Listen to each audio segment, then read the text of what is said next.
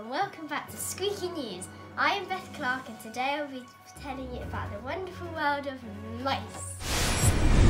Mice are small, gentle, nervous creatures that sleep in the day and play at night. This means that they are nocturnal like other creatures such as owls, bats and hedgehogs.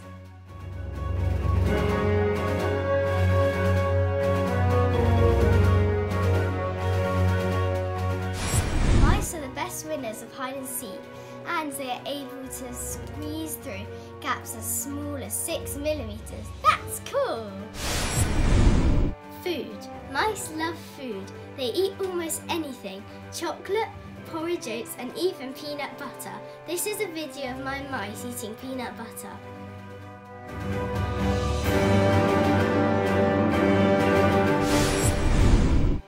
A lot of people are scared of mice, but they are nothing to be scared of. As a fact, mice are more scared of you than you are of them.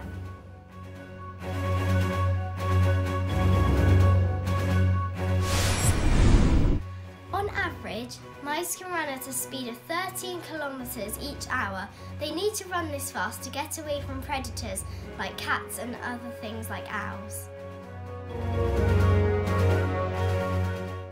There are lots of different types of mice in the world, and you will be shocked at how many types there are. How many do you think there are?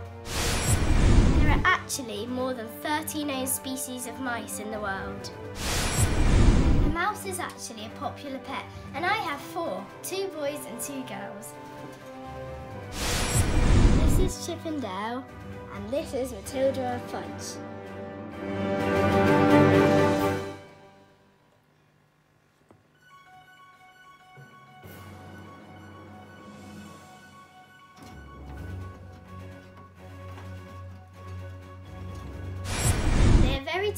Creatures, so they have everything in one section. One section for food, one section for sleeping, and one section for going to the toilet. A mouse eats 15 to 20 times a day. The minute you put food out for them, they make it disappear completely. They have supersonic hearing, but terrible eyesight. Maybe they need glasses. Mice are very good at escaping from places. Once, one of my mice escaped and my dog Buffy had to rescue her. Buffy, tell us the story of how you rescue Minnie the Mouse. okay, back to the studio.